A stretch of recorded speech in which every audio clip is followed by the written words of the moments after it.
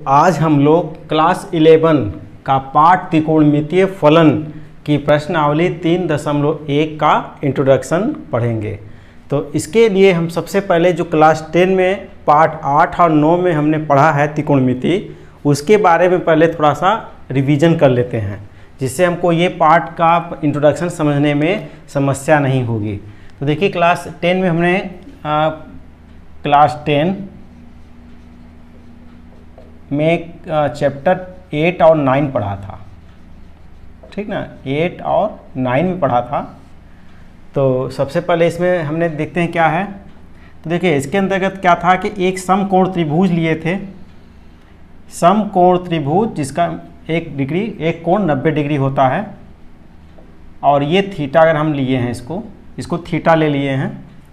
और हम इसका नामकरण कर लेते हैं ए बी सी तो हमको इसमें देखिए, भुजाओं का अगर अनुपात लेते थे तो हमको इस न्यून कोण का मान ज्ञात होता था। तो ये हम कह सकते हैं कि हम एक न्यून कोण और भुजाओं के अनुपात का संबंध हम देखते थे अभी तक। ठीक ना? उसी को हम त्रिकोणमितीय अनुपात कहते थे। देखिए, जैसे, देखिए, ये 90 डिग्री है तो पहले इस भुजा को क्या कहेंगे? समकोण त्रिभुज में समकोण के सामने वाली भुजा को कर्ण बोलते हैं। यदि हम इसको आधार ले लें तो ये लंब हो जाएगा। इसको अगर हम लंब लिए, इसको हम यहाँ भी लंब लिख सकते हैं तो ये लंब लेंगे तो ये आधार हो जाएगा।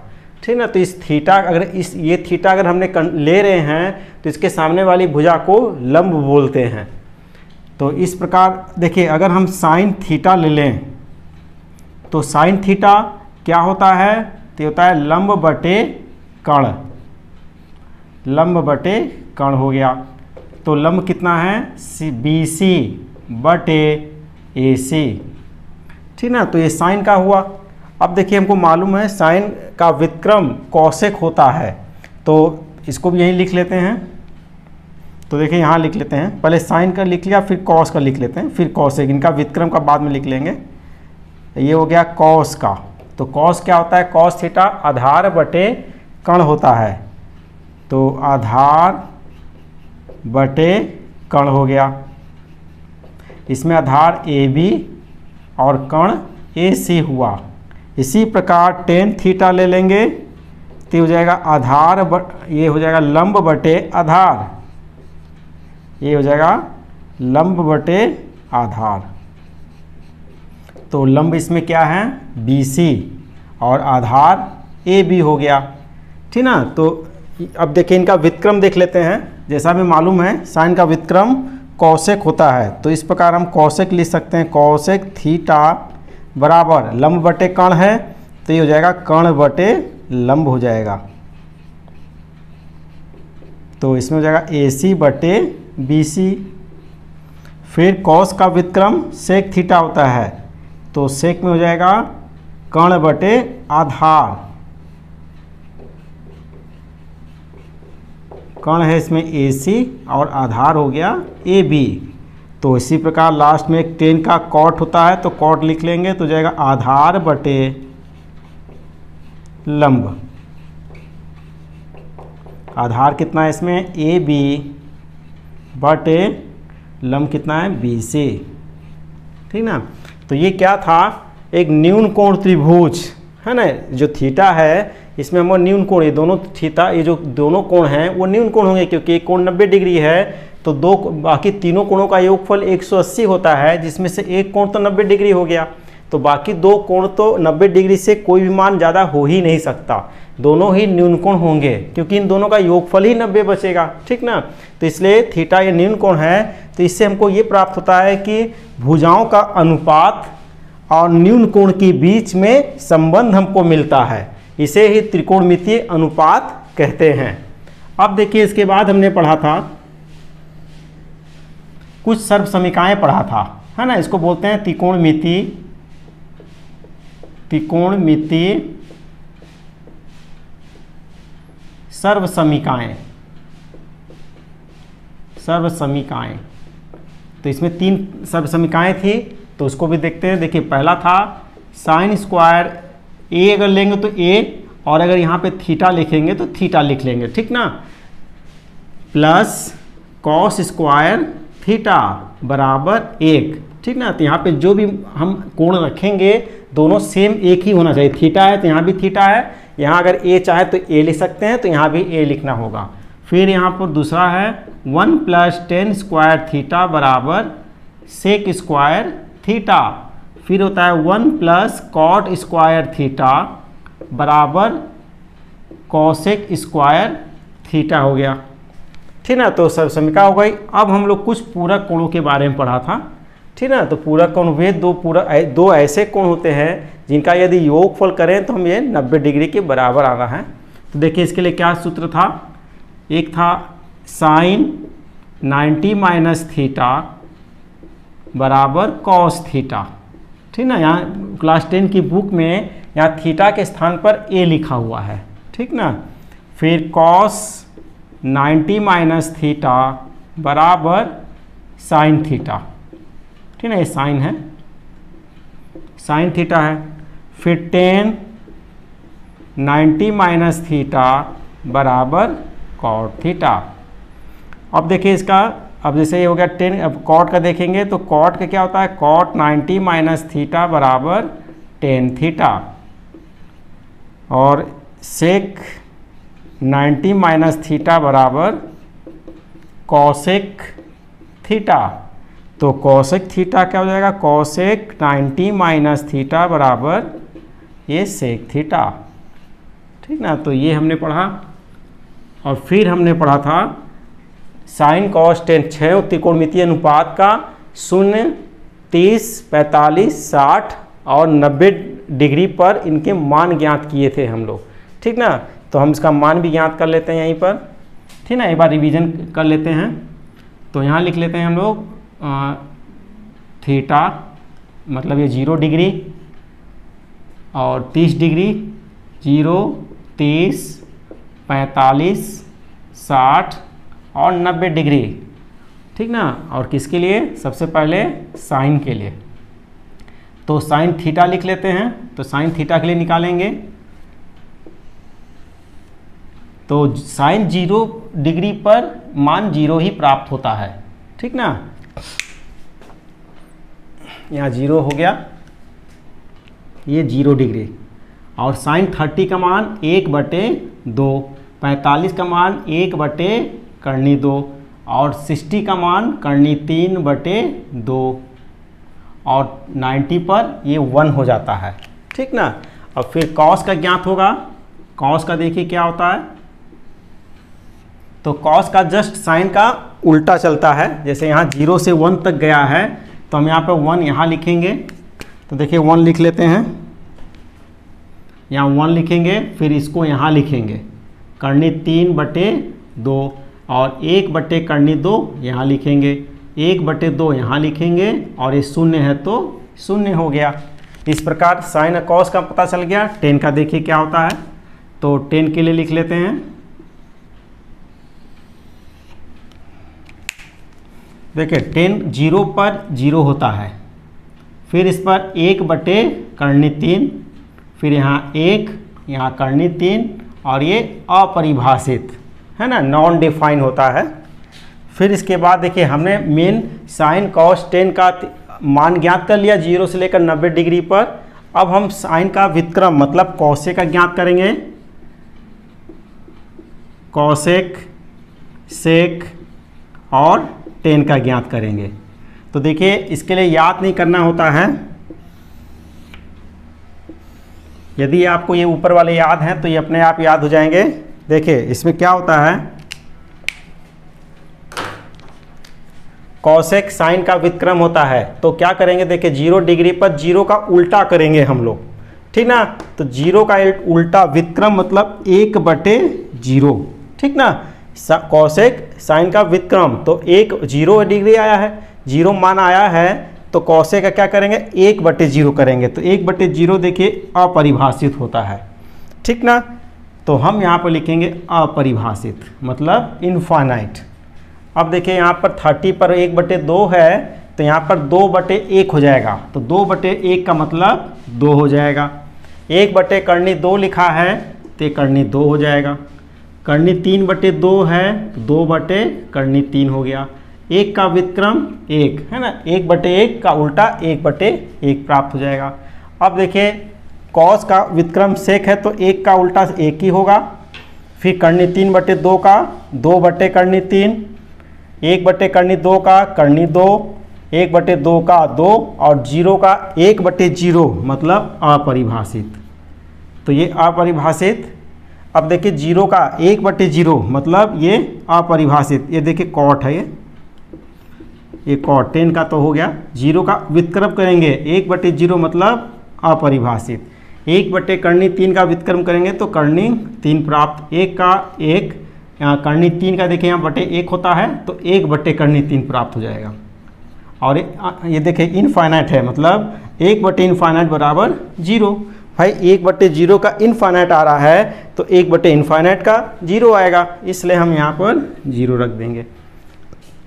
तो देखिए, ये क्लास टेन का हमने इतना पढ़ा था। अब हम इसके आगे क्लास इलेवन में त्रिकोणमिति फलन के अंतर्गत पढ़ना शुरू करेंगे। तो देखिए, अब इसके बाद क्या टॉपिक है?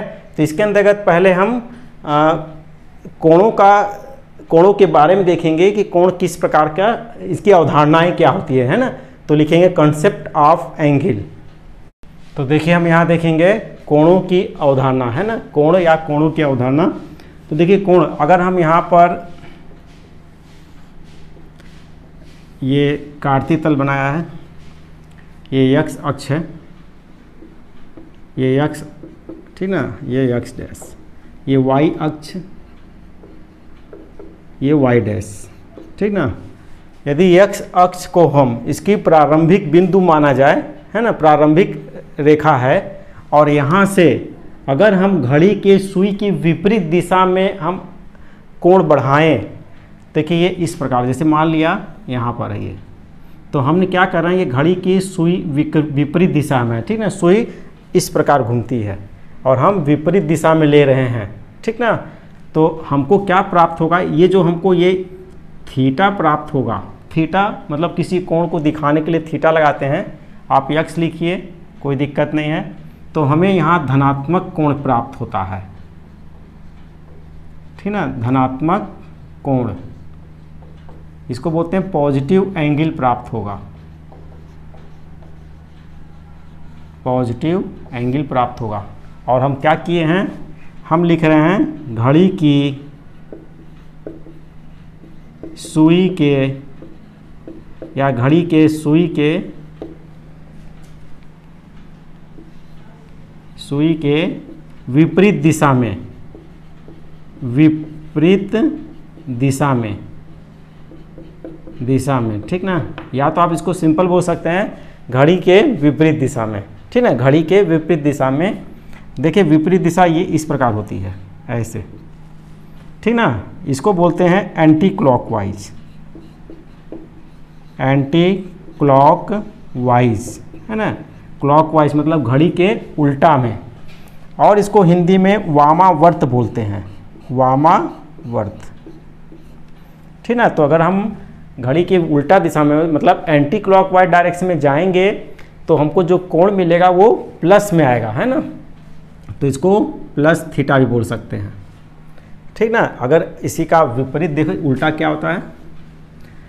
यदि हम यहाँ पर, देखिए ये एक्स अक्ष बना लिया, ये बना लिया। यक्स अक्ष और ये वाई अक्ष, ये वाई डैश अगर हम घड़ी के सुई की दिशा में अगर चलें, ठीक ना? देखिए ये लिया। जैसे इसको हम ना प्रारंभिक मान रहे हैं, ठीक ना? ये प्रारंभिक रेखा है ये। या प्रारंभिक बिंदु है कह सकते हैं। यहाँ से हम कोण बनाना शुरू कर रहे हैं, ठीक ना? इसे एक तो आधार लाइन लेते हैं, वहाँ से ही ये कोण ऊपर या नीचे बनाते हैं। तो जब इस प्रकार जब हम घड़ी की सुई की दिशा में देखिए, इस प्रकार जा रहे हैं हम यहाँ से, ठीक ना? इसको आधार लिए हैं। तो घड़ी की विपरीत दिशा ऊपर जाएँगे और उसी की दिशा में इस प्रकार जाएँगे। तो इसको बोलते हैं हम लोग, जो हमको प्राप्त होगा उसको ऋणात्मक कोण बोलते हैं। इसका मतलब होता है negative angle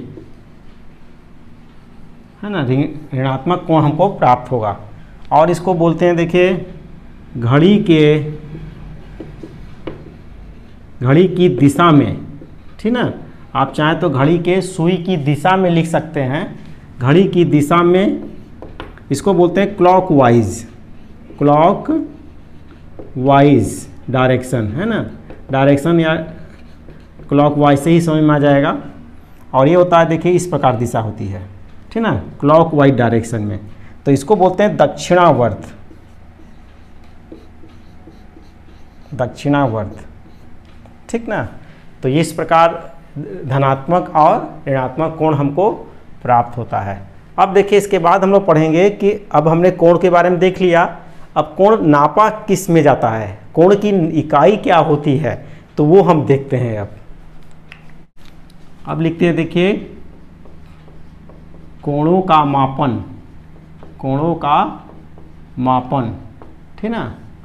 Measurement of angle of angles ये हुआ मेज़रमेंट ऑफ़ एंगल तो इसके लिए देखिए दो इकाई है। एक होता है डिग्री और एक होता है रेडियन रेडियन इन्हीं दोनों में कोणों को नापा जाता है। तो पहले हम इसमें डिग्री देख लेते हैं, क्या होता है? देखिए डिग्री क्या बोलते हैं? डिग्री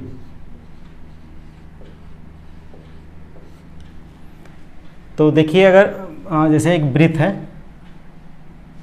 वृत्त ले लिया, देखिए ये जैसे ये कर लिया, यहाँ एक बिंदु ले लिया, एक कुछ त्रिज्या ले लिया, और एक हम एक यहाँ वृत्त खींच रहे हैं, देखिए। ये वृत्त खींच लिया।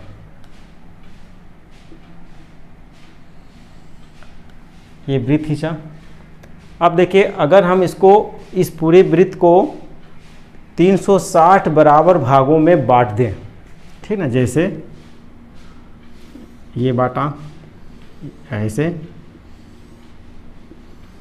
ठीक ना, ऐसे पूरा 360 बराबर भागों में बांटें तो इनमें से एक जो भाग है ये, ठीक ना, एक भाग जो है उसको एक डिग्री बोलते हैं। ठीक ना तो ये हो गया एक डिग्री। एक डिग्री क्या हुआ?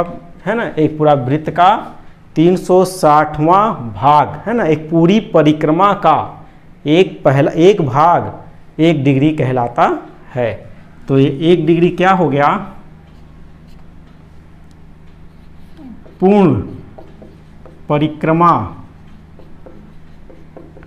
का एक बटे तीन सौ साठवां भाग हो गया।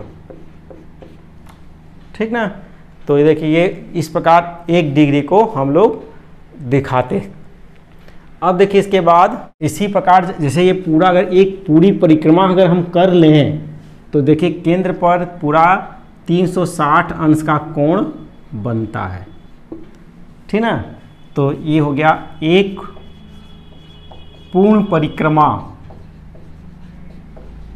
बराबर 360 डिग्री बनता है। जिसमें से एक भाग जैसे बताया तो वन डिग्री बराबर एक बट्टे साठवां भाग पूरी परिक्रमा का। ठीक ना? अब देखिए, एक डिग्री तो हो गया, या डिग्री भी समझ में आ गया। अब देखिए, अगर ये बहुत बड़ा अगर वृत्त होता ये, है ना? मान लिया बहुत बड़ा वृत्त है तो उसका अगर एक डिग्री की बात करें तो देखिए, एक डिग्री ही स्वयं में ही अपने आप में बहुत बड़ा हो जाएगा। ठीक ना? तो अगर मान लिया, देखिए, एक एक डिग्री, ये मान लिया, एक डिग्री ये रहा। है ना, बहुत बड़ा अगर वृत्त होता व्हील होता तो एक डिग्री इतना हो गया। तो एक डिग्री को भी अगर हम 60 बराबर भागों में बांटें तो इस प्रकार जो हमको ये 60 भागों मिलेगा ये, देखिए ये छोटा छोटा जो इस पूरे 60 भाग में बटेगा तो वो एक भाग एक मिनट कहलाएगा। तो देखिए, एक मिनट बराबर एक डिग्री बराबर साठ मिनट। इसको पहले भाषा में लिख लेते हैं। एक डिग्री बराबर 60 मिनट। ठीक ना? या तो इसको आप ऐसे लिख सकते हैं, वन डिग्री। देखिए, डिग्री को इस प्रकार दिखाते हैं। और ये 60 मिनट मिनट के एक लाइन खींचते हैं ऊपर। तो ये संबंध आया। ठीक ना? एक पूर्ण परिक्रमा पर 360 अंश का कोण बनता है। ये भी समझ में आया? ठीक ना? तो इस प्रकार देखिए, एक डिग्री को भी हम 60 बराबर मिनटों में बदल सकते हैं। अब देखिए, अगर इसका आगे भी बात करें तो ये पर से, ये जो एक एक मिनट हमको जो प्राप्त हुआ है, अगर उसको हम फिर 60 बराबर भागों में बांटें तो इस प्रकार एक मिनट एक मिनट बराबर, देखिए 60 सेकंड प्राप्त होता है। 60 सेकंड, ठीक ना? एक पहले एक मिनट लिख लेते हैं। एक मिनट। बराबर 60 सेकंड। ठीक ना? जो घड़ी वाला कंसेप्ट है, वही वाला ही लगेगा आपको, मगर थोड़ा सा समझने भर के लिए हम बता रहे हैं। थोड़ा सा ही अलग है और घड़ी का कंसेप्ट अलग है। मगर जहाँ से देखिए, मिनट और सेकंड की बात करें तो लगभग उसी की जैसा ही है। तो एक मिनट, देखिए, एक मिनट को ऐसे लिखेंगे। बराबर, ये हो गया 60 सेकंड तो ये हो जाएगा डबल डैश लग जाता है। तो इस प्रकार देखिए हमको कुछ संबंध प्राप्त हुआ है, ठीक ना, जो आगे हमको काम आएगा। तो देखिए, डिग्री के बारे में हो गया। डिग्री मेज़रमेंट इस प्रकार किया जाता है और ये इसकी ये रिलेशन होता है सब में। मिनट, सेकेंड, डिग्री में क्या संबंध है तो ये संबंध होता है। अब हम इसके रेडियन के बारे में देखते हैं। यही लिखते हैं, देखिए, रेडियन। तो देखिए, रेडियन क्या होता है? अगर एक वृत्त खींचे हम, देखिए एक वृत्त है, जिसकी एक इकाई त्रिज्या है, एक इकाई त्रिज्या है, ठीक ना? देखिए इकाई है, इकाई का मतलब ये मीटर में हो तो मीटर में हो जाएगा, सेंटीमीटर है तो सेंटीमीटर में हो जाएगा तो इस प्रकार हमने केवल एक इकाई लिखा, ठीक ना? अब देखिए, यही एक एक इकाई का ही अगर हम यहाँ पर चाप ले लें। एक इकाई का अगर हम चाप ले लिए तो इस चाप के द्वारा एक इकाई, ये चाप है। ठीक ना? इसको देखिए, रेडियस बोलते हैं, इसको आर्क बोलते हैं। ठीक ना? इस एक इकाई चाप द्वारा केंद्र पर अंतरित कोण जो होगा, देखिए, जो कोण है उसी को वन रेडियन बोलेंगे। एक रेडियन कहलाता है। ठीक ना? तो ये एक रेडियन हुआ। तो एक रेडियन को हम इस प्रकार ऊपर सी से भी प्रदर्शित करते हैं। ठीक ना? ये रेडियन हो गया। तो एक रेडियन में देखिए क्या हो जाएगा? इसका परिभाषा हम लिख लेते हैं। एक इकाई त्रिज्या वाले वृत्त के केंद्र पर एक इकाई चाप वाले एक इकाई एक इकाई चाप द्वारा द्वारा वृत्त के केंद्र पर, द्वारा अंतरित कोण अंतरित कोण, एक रेडियन कहलाता है। ठीक ना? तो ये हो गया, परिभाषा हो गया। इसे हम एक इस प्रकार प्रदर्शित करते हैं। देखिए, ये तो हो गया रेडियन के बारे में। ये ये हो गया डिग्री और ये हो गया रेडियन। अब हम लोग डिग्री और रेडियन के बीच में क्या संबंध है, उसे अब हम लोग देखेंगे। अब हम लोग डिग्री और रेडियन के बीच में संबंध देखेंगे। तो देखिए अभी जो पढ़ा हमने, यदि एक वृत्त है ये, जिसका इकाई त्रिज्या का, एक इकाई त्रिज्या का एक वृत्त खींचा, और इस पर हमने एक इकाई चाप लिया था, है ना? ये चाप लिया था, एक इकाई। चाप की लंबाई। ठीक ना, एक इकाई चाप लिया था।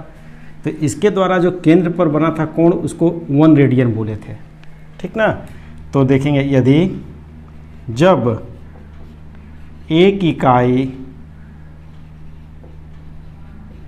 चाप की लंबाई, चाप की लंबाई तो केंद्र पर अंतरित कोण कितना? One radian. ये हो गया। ठीक ना? तो हम इसका डबल कर लेते हैं। मान लिया इसको एक इकाई था, अब हम इसको दो इकाई कर लेते हैं। लगभग इतना है तो इतना, ये ले लिया हमने। ये ले लिया हमने पूरा, दो इकाई ले लिया। ठीक ना? तो दो इकाई ले लेंगे तो यहाँ पर केंद्र पर कितना बनेगा? दो रेडियन बन जाएगा। एक इकाई चाप पर केंद्र पर अंतरित कोण वन रेडियन है तो दो इकाई चाप पर दो रेडियन बनेगा। तो लिखेंगे, दो इकाई चाप की लंबाई, ठीक ना? चाप की लंबाई अगर हो तो कितना बनेगा? दो रेडियन बनेगा केंद्र पर, है ना? केंद्र पर दो रेडियन का कोण बनेगा। यदि मैं इसी चाप की लंबाई बढ़ाते बढ़ाते बढ़ाते बढ़ाते पूरा वृत्त के बराबर कर दूँ, ठीक ना? चाप की लंबाई बढ़ाते बढ़ाते कितना है? मैं यहाँ से चला था, यहाँ तक आ सकता हूँ। तो लिखेंगे, एक पूर्ण एक पूर्ण परिक्रमा पर, चाप की लंबाई पहले देख लेंगे कितनी होगी। चाप की लंबाई कितनी हो जाएगी? चाप की लंबाई। तो देखिए, ये चाप पूरा ऐसे, यहाँ से यहाँ तक ये चाप की, जो लंबाई होगी, क्या होगा? वो वृत्त की परिधि के बराबर होगा। ठीक ना? तो लिखेंगे वृत्त की परिधि। है ना? वृत्त की परिधि के बराबर ही चार हो, चाप हो पाएगा। तो वृत्त की परिधि का फॉर्मूला क्या होता है? टू पाई आर होता है। यहाँ आर का मान एक इकाई लिए हैं हम लोग। ठीक ना? तो ये हो जाएगा टू पाई गुड़े एक मतलब टू पाई।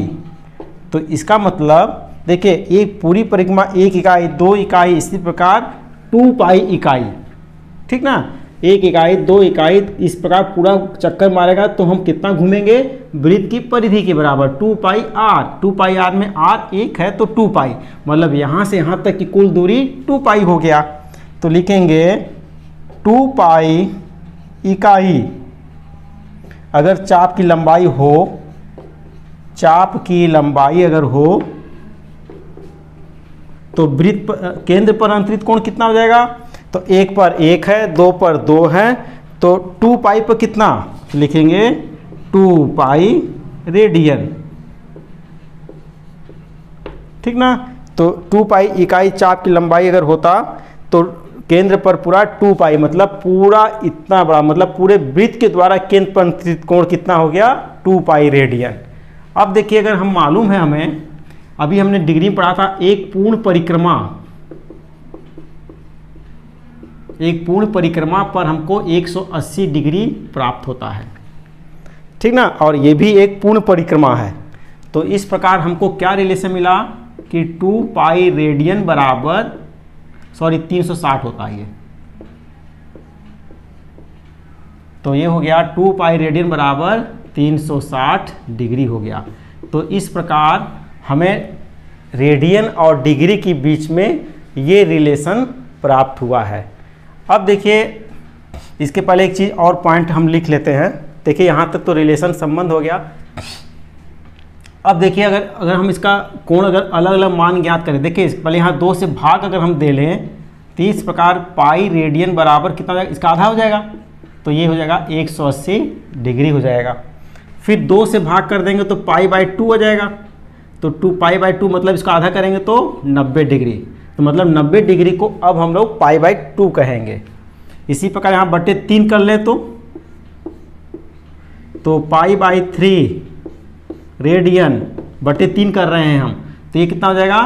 कटेगा तो साठ डिग्री हो जाएगा। ठीक है ना? तीन से भाग दे रहे हैं। दोनों पक्षों में तीन से भाग दे लीजिए। तो देखिए तीन से भाग देने पर कितना आएगा? ये साठ डिग्री तो आएगा। तो 60 डिग्री को पाई बाय थ्री बोलते हैं रेडियन में। अब फिर यहाँ पर पाई बाय फोर कर लेते हैं। तो पाई बाय फोर रेडियन मतलब कितना हो जाएगा? 180 बटे चार से भाग दे लेंगे। तो चार एक कम चार चार चौक सोलह, चार पंचे बीस मतलब पैंतालीस डिग्री हो गया। ठीक है पैंतालीस डिग्री को पाई बाय फोर बोलेंगे। फिर अगर हम छः से भाग दे लें यहाँ पर तो ये देखिए कितना आएगा? 180 बटे छः छः अतिरिक अठारह मतलब ये तीस डिग्री को हम बोलते हैं पाई बाई सिक्स। ठीक ना? ये हो गया नब्बे, साठ साठ, तीस पैंतालीस अब देखिए नब्बे हो ही गया, अब पैंतालीस हो गया, तीस, साठ हो गया, अब इसका आगे 180 पर तो देखिए ये है ही, ठीक ना? पाई बराबर 180 डिग्री होता है ये और टू पाई बराबर 360 होता ही है। अब हम यहाँ पर लिख लेते हैं, थ्री पाई बाई टू करके देखते हैं, देखिए क्या आता है इसका। मतलब पाई में तीन बटे दो से गुणा कर रहे हैं तो यहाँ भी हम 180 में तीन बटे दो से गुणा कर देंगे। तो दो एक कम दो नौ अठारह मतलब 270 डिग्री को हम थ्री पाई बाई टू कहेंगे। ठीक ना? ये तो हो गया। अब देखिए एक आ, एक फॉर्मूला बनता है। देखिए अगर यहाँ पर देखिए ये तो हो गया। अब इसी बात देखिए यहाँ पर अगर मान लिया यहाँ पर हमने एक इकाई त्रिज्या के लिया था। है ना? त्रिज्या एक इकाई थी चाप भी एक इकाई था शुरू में। ठीक ना? जैसे यहाँ पर हम कर लेते हैं यहाँ पर इसी को करेक्शन कर लेते हैं। देखिए, ये एक इकाई चाप था तो यहाँ पर केंद्र पर एक रेडियन बन रहा था। ठीक ना? ज़रूरी नहीं कि कोई भी त्रिज्या आपको मिले जिसकी एक इकाई ही त्रिज्या हो। तो हम यहाँ पर कर लेते हैं कि मान लिया आर इकाई त्रिज्या हो और यहाँ पर एल इकाई चाप हो। मतलब चाप की लंबाई एल हो, त्रिज्या आर इकाई का हो। तो इसके द्वारा केंद्र पर अंतरित कोण देखिए क्या बनेगा? थीटा बराबर एल बाई आर। ठीक ना तो ये एक रिलेशन होता है। अब देखिए, इस वाले में कभी भी हम थीटा का मान जो प्राप्त होगा हमें, वो हमेशा रेडियन में प्राप्त होता है। ठीक ना? इसको ध्यान रखिएगा। इस पर हम कभी भी एल का मान और आर का मान जब भी रखेंगे, एक इकाई होनी चाहिए। है ना? सेम यूनिट होना चाहिए। ठीक ना? एक ही इकाई जैसे होना चाहिए। अगर सेंटीमीटर में है तो ये भी सेंटीमीटर में होना चाहिए। अगर ये मीटर में है तो ये मीटर में होना चाहिए। ठीक ना? और इसमें जो मान निकलेगा डिग्री का, वो हमेशा रेडियन में ही होगा। और अगर हम कभी इसमें रेडियन में, अगर इस थीटा का मान अगर रखने की बारी हो, कभी इसमें तो अगर हमको इसमें थीटा डिग्री में दिया हो तो हम सबसे पहले इसको रेडियन में बदलेंगे, फिर इसमें हम थीटा का मान रखेंगे। ठीक ना? तो ये हो गया डिग्री और रेडियन के बीच संबंध भी हो गया फॉर्मूला भी डिराइव देख लिया। अब इसके आगे आगे टॉपिक देखते हैं। देखिए, अब हम रेडियन और वास्तविक संख्या में संबंध देखेंगे। तो देखिए, एक हम यहाँ वृत्त खींच लेते हैं। ये एक इकाई का, ठीक ना? एक इकाई का त्रिज्या है ये। एक इकाई त्रिज्या हो गया, यहाँ लिख देते हैं। ठीक ना? अब हम यहाँ पर, देखिए, एक टेप लगाते हैं यहाँ पर। एक टेप जो टेप नापने के काम आता है, टेप लगा लें या फीता लगा लें यहाँ पर, देखिए इसको ऐसे लगा लेते हैं, खड़ा खड़ा। ऐसे लिख लिया, ठीक है टेप है सिंपल। या मेजरिंग टेप ले सकते हैं। यहाँ पर ज़ीरो ले लिया, और इसमें जैसे संख्या रेखा पर नाम नंबरिंग करते हैं तो यहाँ पर लिखते हैं, देखिए वन टू थ्री इस प्रकार। इसी प्रकार ये माइनस वन भी लिख सकते हैं इधर माइनस टू और ये माइनस थ्री ठीक ना? जब इस, हम इस फिता को यहाँ पर ऐसे मिलाएँ, ठीक ना ऐसे फोल्ड करते चलें तो ये वाला वन यहाँ आ जाएगा। तो अगर हम यहाँ से इसको यहाँ तक खींचे तो केंद्र पर वन रेडियन का कोण प्राप्त होगा, ठीक ना? वन रेडियन का कोण प्राप्त होगा। इसी प्रकार जब अगर हम इसको यहाँ पर ऐसे सटाएँगे तो यहाँ से जो ये कोण, ये जो दो देखिए, ये हो गया एक इकाई एक इकाई चाप हो गया। ठीक है, अगर यहाँ मिलाया तो यहाँ से यहाँ तक का एक इकाई चाप हो गया, ठीक है एल बराबर वन इकाई।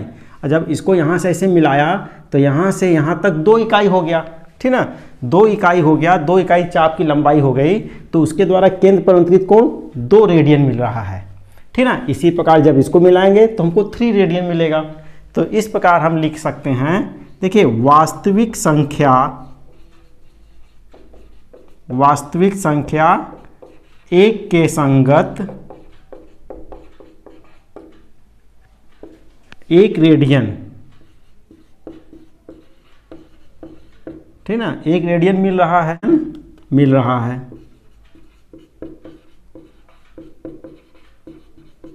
इसी प्रकार वास्तविक संख्या दो के संगत,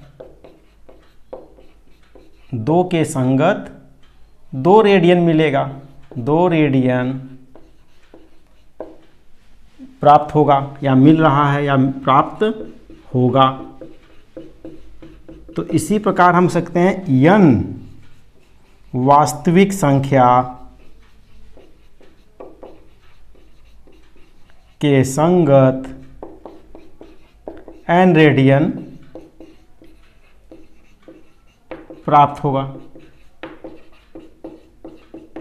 ठीक ना? तो इस प्रकार हम एक इसको, इस संख्या जो वास्तविक संख्या प्राप्त हो रही है, वो और रेडियन को हम एक ही मान सकते हैं। तो इस प्रकार हम कह सकते हैं, इस प्रकार हम वास्तविक संख्या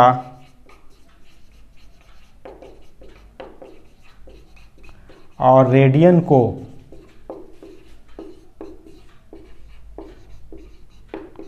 एक ही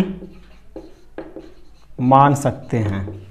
मान सकते हैं। ठीक ना?